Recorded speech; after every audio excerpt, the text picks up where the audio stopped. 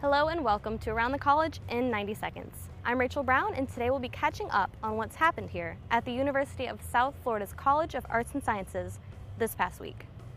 The College of Arts and Sciences School of Geosciences has been included in the 100,000 Strong in the Americas project. This will provide the opportunity for a student exchange for those who study volcanology at USF, Michigan Technological University, and Universidad de Colima. Paul Spector, Area Director in the Department of Psychology, has received the Outstanding Graduate Faculty Mentor Award for 2014. Spector has a PhD in Industrial Organizational Psychology from USF and teaches organizational research courses on campus. On Wednesday, October 29th, there will be a free screening of Jose Antonio Vargas's Documented at 8 p.m. in the Oval Theater. The event is sponsored by the Sociology Club and the Dean Student Leadership Society. Vargas will be speaking at USF on November 6th. Associate Professor Marc Karver has received a five year award for about $3.7 million from the Substance Abuse and Mental Health Services Administration. Carver assisted the administration with suicide prevention with his work Florida Linking Individuals Needing Care project.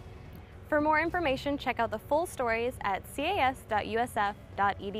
That's all the time we have for today. I'm Rachel Brown for the College of Arts and Sciences, and we'll see you next time in Around the College in 90 Seconds.